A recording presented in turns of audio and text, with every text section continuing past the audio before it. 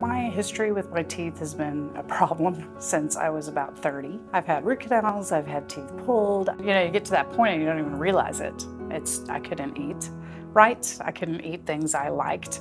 The pain, the time, all of that, I was just, I, I was done. So I found Dr. Gandhi through my dentist. Wendi is a very successful woman. The first problem that we had with Wendi was just her schedule. That point, what we told Wendi is, we have a solution for you like you know that is not going to take an eternity. The next appointment is going to be where we actually do the procedure of an all on four.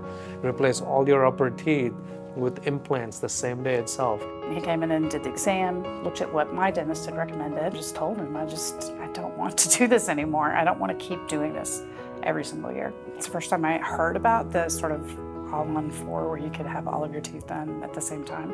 And I started researching it. So after talking with Dr. Gandhi, made the decision to do the all-on four on top. Our office is all about like making sure the option fits you. When we did that option for her, literally within three weeks, she was out doing lectures throughout the country. You can tell that he's only interested in doing what's right for you.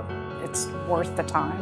It's definitely worth the money. I can't stress enough the health difference. I, I really didn't realize how much uh, probably infection was just in my body all the time. I didn't realize that that was all connected like that. It's that confidence and feeling like myself again.